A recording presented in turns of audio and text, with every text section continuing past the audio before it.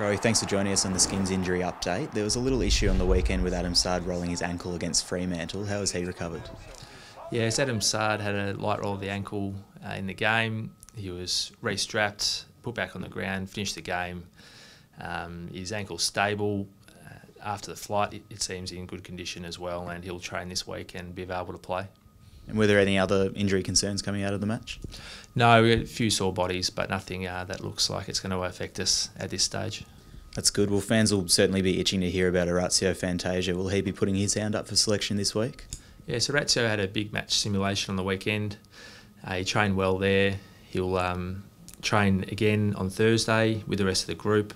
Uh, we'll wait and see how he goes in that session before making a final decision on whether he plays or not. Two other players also getting closer, David Myers and Ben McNiece. Are you expecting them to be available for the match against the Dogs? Yeah, so Ben McNiece is in the same boat as Orazio in that he's done a good session on the weekend. We'll look to see how he goes in that main training session um, with a hope to make him available. Dave Myers um, took a little bit longer to get going. Um, has got some work in over the weekend. Um, we'll get him through that main training session and make a decision. Jayden Laverde has had a bit of time off the field. He returned in the VFL last weekend. Is he far off consideration for a senior return? Yeah, so Jayden played a half game in the VFL. Um, that went well. He's got quite a volume of work behind him. Uh, he's available for a full game um, wherever he gets selected. Now, Kobe Mutch is in a bit of a similar boat. How is he travelling? Yeah, so Kobe's back after eight weeks now, um, following his, his knee surgery. Uh, Kobe's tracking really well. He'll be available um, to play on modified game time this weekend. Um, again, assuming he gets through that main session later in the week. Are you happy with the progress of some of the other injured players, including Patrick Ambrose, who seems to be making a bit of progress?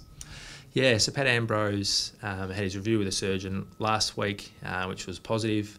He'll have an X-ray on Monday following a game against the Bulldogs um, to confirm that uh, the screw um, is in good condition, nothing's moved and then um, basically his availability, if that scan goes well, is um, based on his ability to handle the football, given that we've been able to keep his um, running conditioning up through this whole period.